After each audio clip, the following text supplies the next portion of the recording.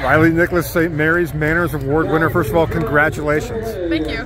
Um, so, big day today for you in the throws. Tell me a little bit about how your day went. So, um, just like warming up and stuff, make sure that I got all my like muscles stretched and everything. And then um, I knew I had some competition, so I wanted to like make sure that I kind of like go farther than that and just make sure I did all the technique stuff right and stroke through, shot put, and stuff like that. And same thing with like jab and discus as well. Um, and there's so much hard work that goes into this.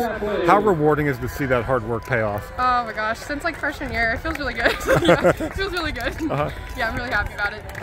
And uh, you'll be able, you know, you guys obviously had a good day as a team too. Tell me a little bit about the, the success you guys had as a team. Okay, so like um, our relays came out really strong and won a couple. Um, I saw a couple runs. I don't know how about the hurdles went, but I know that we had another like one of my other teammates through discus and she placed fifth. And um, my other teammate Jill, she like PR'd in jab with a solid 86, and that's really Awesome. big for her too.